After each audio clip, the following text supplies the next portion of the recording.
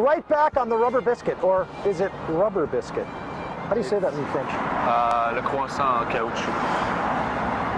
I want to get a T-shirt that says that. You should. We should produce those. Nice, yeah. This is Patrice Bergeron.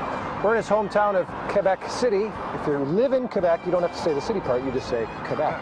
It's, Given. Exactly, yeah. It's the city. Uh, where are we right now? We're actually at uh, Grande Allée Street. This is all the street where uh, all the bars, and there's a couple of restaurants. It's pretty much all the bars from Quebec, and uh, where uh, you got to be at night, I guess.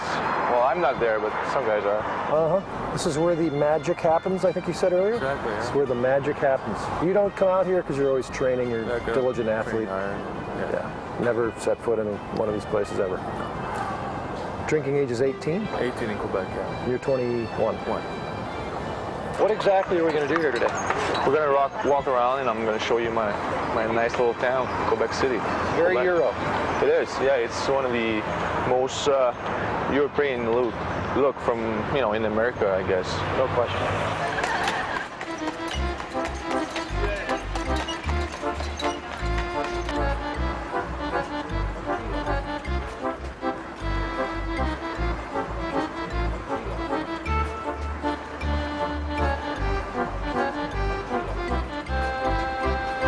What is that? Come on, you're a local. That's for the uh, the army, but I don't. That's like a long time ago. What's uh, Old army, like historical army? historical? What's the name of that though? I don't know. I don't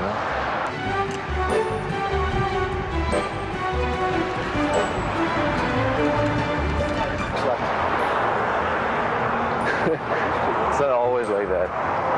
These, these relatives of yours? Yeah. my- Is your brother? My cousin and uh, What do they do? I don't know. Hanging out in Quebec City, I guess. Did you used to dress like that? Yeah, when I was younger. That's all you. You gotta be dressed like that to go to Yeah. school. You do. Yeah.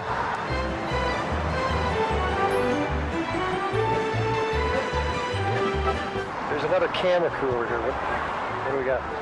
I don't know. I guess he's. Uh, for the news, I guess. He's a correspondent or something. Is he an important guy?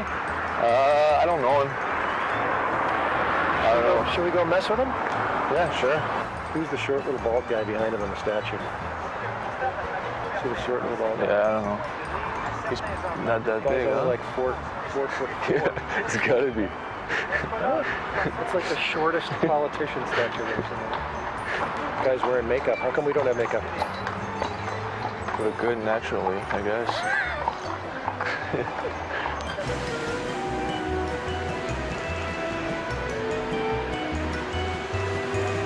All right, Patrice, so thus far we've seen the, the heavy bar area, which is shocking to have a test, Nessun crew outside the, the bars.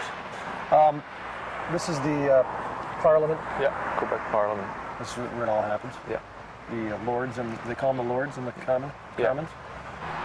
Uh, parliamentary form of government, Yeah. just like Canada. Yeah, exactly. We also saw the museum, military museum. Military Museum that I didn't couldn't remember the name. Yep. We've seen the uh, Battlefields Park, which is also Yeah. known as Fields of Abraham. Yeah, exactly. We don't know why, but it's famous. It, it is. It's a famous guy, I guess. And it's a Favorite. memorial for all the guys that died in World War One, Two, and the Korean War, I think.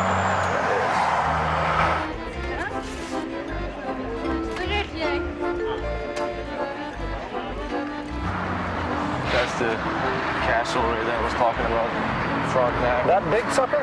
yeah, big one in there. That's actually an hotel. That's the Chateau Frontenac? Yeah. And that's where we're headed later in the show. The tour will continue after we meet Patrice, the hockey player, and watch his off-season training regimen. Stay with us.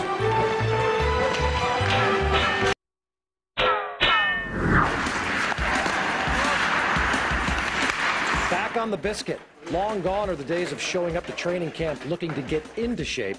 The NHL season runs year-round as it relates to conditioning. Patrice and his pals in Quebec get after it regularly. OK, premier exercice, épaulé, puis pas du sol, up. It's getting more and more important. I think, uh, especially with the new the new rules, uh, the game is so much faster now. So uh, I think it's huge during the summer that you uh, you get stronger in your legs and uh, get quicker as well, and the quick feet and all that stuff. So I think the off-ice workout is getting more and more important now.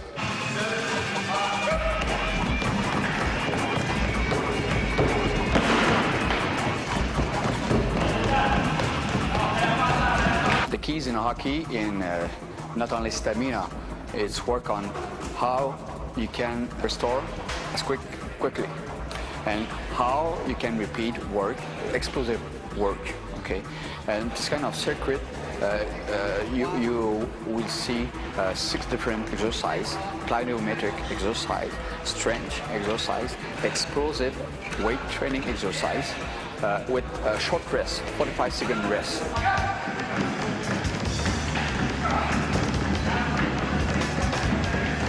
You arrive at camp, you have to be in shape. If you arrive there uh, thinking the training camp is going to make you uh, in shape, you you, start with two, with two strikes, um, maybe maybe three. Uh, guys are uh, in unbelievable shape uh, when you arrive there, and uh, here we are doing our best. even we're we're we're here now. We were on the ice this morning. We always we, are going to go run for some stairs in the old Quebec or things like that. So we always keep ourselves busy to be in the best shape possible. Rivals on the ice during the season, friends and workout mates from the same home province during the off season. Well, it's fun. I mean, we're all from here anyway, so if we're all training apart and everything, we kind of, you know, we're, we grew up playing as a team, so might as well work out as a team. We've been working out together for a couple of years now, and uh, when we're on the ice, it's different, different thing. We, we compete, but off the ice, he's a he's just a great guy and he, he's a good friend of mine. We all know each other from before, so it's kind of a, but during the year on the ice, there's no uh, compromise to make for sure. You have to, uh, to be 100% against your friend. That's, that's one sad part of the game, but that's a part of the game. The game itself is not forgotten in the summertime. Lively scrimmages, equivalent to pond hockey, happen frequently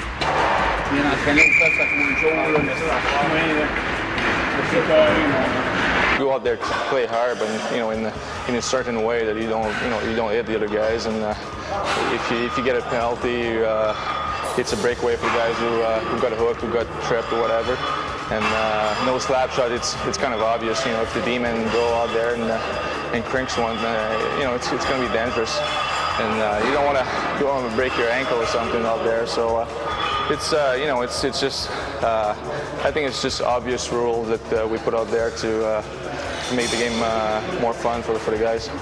Pretty good practice when you get to skate with a Simon Gagné of the Flyers, or of course a Patrice Bergeron of the Bruins. This guy is just just unbelievable. I mean, he got drafted by Boston when he was 18 years old, and uh, year after year he was improving, was getting stronger and better, and now he's going to be one of the greatest players of the this year in the NHL.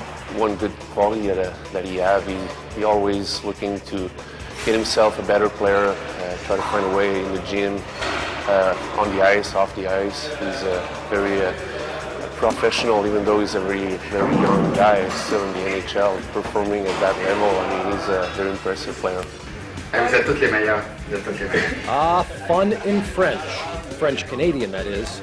Hey, Patrice, what's your favorite TV show? Rubber Biscuit, right? Yeah, that's right. Well, we'll have more of it in just a moment. More with Bergeron the tour guide and Bergeron the hockey player when we come back.